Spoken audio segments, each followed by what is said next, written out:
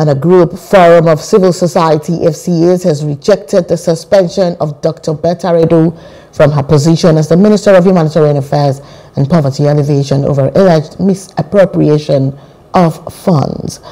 Addressing a press conference in Lagos, the group stressed that the allegations against the minister were not only sponsored by detractors of ongoing reforms and the administration of President Bola Ahmed Tinubu, but are also annoyed about the manner Edu has coordinated the affairs of the ministry.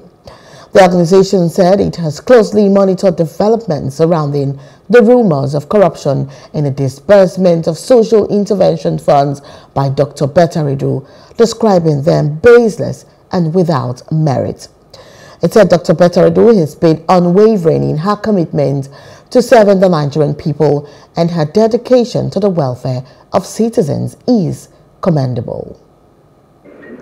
After all that has been said and done over the suspension of the Minister, the Minister of Humanitarian Affairs and Poverty Alleviation, Dr. Betta Edu, I stand on the point that the allegation levied against him, against her, is a total fallacy and it has been rejected.